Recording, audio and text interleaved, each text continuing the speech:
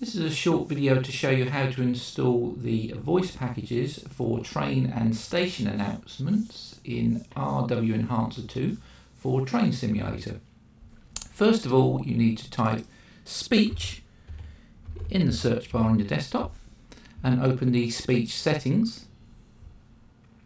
From here you can scroll down to manage voices and this is where we have the installed voice packages. I have the English United Kingdom as I'm in the UK and we need to add three more voice packages. So we click on add voices and scroll down to English United States. We'll click on that and click add and that will be downloading as you can see from the blue bar. Um, I like to wait until this is fully downloaded before adding the next voice as sometimes this um, screen will just crash for some reason if you try to install uh, too many at the same time. It might just be for me.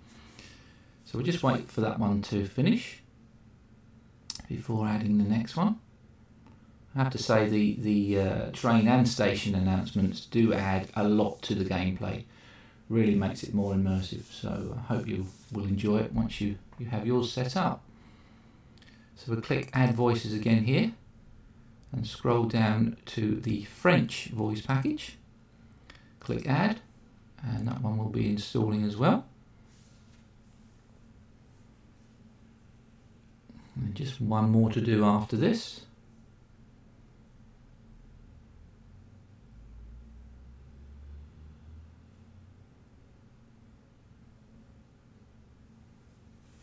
That one's nearly done.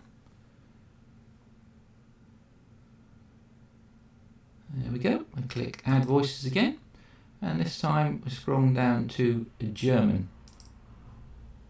Click that, click add and that will install as well. And they're the four voice packages that you need.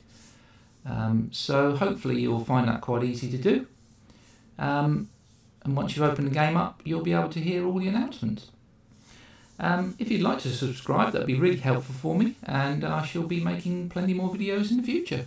Thanks very much. Bye for now.